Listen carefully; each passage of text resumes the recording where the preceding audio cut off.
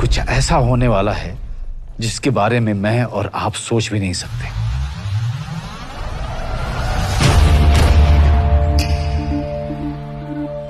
Band बज गया। Welcome to the परिवार। ए ए ए कल करे सो आज कर आज करे सो अब अब घिस रहा है रोज तू फल मिलेगा कब? उसकी उसकी खुद की खुशी के लिए तूने क्या क्या? किया किसी को तो उस हार की रिस्पॉन्सिबिलिटी लेनी थी। और नन बेटर देन मी